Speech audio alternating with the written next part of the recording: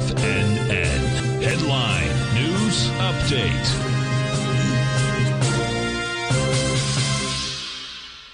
Hello everyone, Basil Chapman here on this Friday, the 2nd of December for the 11 o'clock Tiger Financial News Network market update.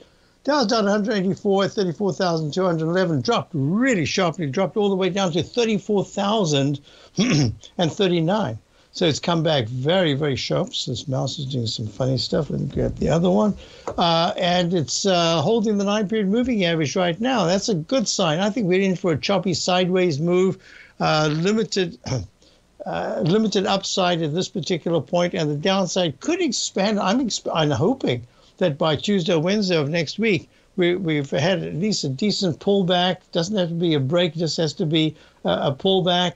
And what we're looking at here is that the the it doesn't matter what happens today. So far, the because it's a Friday weekly close, we have to wait for four o'clock. But so far, there's a candle that has a sign that maybe it's a doji candle, which says next week if it closes under the low of this week, which is around about the 33,580 uh, area, um, then we could go a little bit lower and start to test Chapman Wave inside track propellant zone. So in the meantime, I, am thinking this is a, a, good digestive phase of the spectacular, was that Wednesday? We're looking at the S&P making new recovery high yesterday at 4100.51, down a little bit today, down 35 at 4040. It makes the 39.89 to 39. Uh, 39.30 area really good support if there is a pullback. Well, I, I would like that.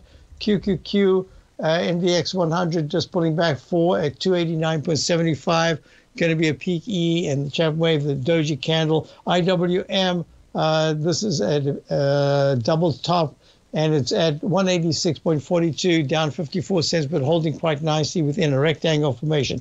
Gold is really what we're looking at here because it's had a new recovery high today at 18, 18.7 in the continuous contract. Pull back sharply. 1789 is the 200 period moving average support, and this morning it went to 1791. So this is really on the weekly basis. This is very good action, starting to improve. It isn't a fantastic looking chart, but it's really impressive the way it's come back. I didn't do silver. Uh, in my show, but I'll do it quickly here. It's made an extension to the upside. Silver's acting way better than gold not so much uh, silver stocks. Let's look at the uh, uh, dollar. Dollar's pulling back.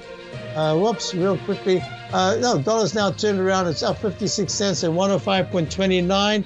Oh, there's a lot to talk about. When we come, I'm going to be coming back. I'm going to be doing Steve Rhodes' hour. Plus, it's not Steve Rhodes' show. Only Steve can do his show, but I'll do that hour. We've got a lot of questions that have come in. I'll deal with it in this hour. And don't forget, my opening call is my daily newsletter. See you in a few minutes, and also have a great weekend.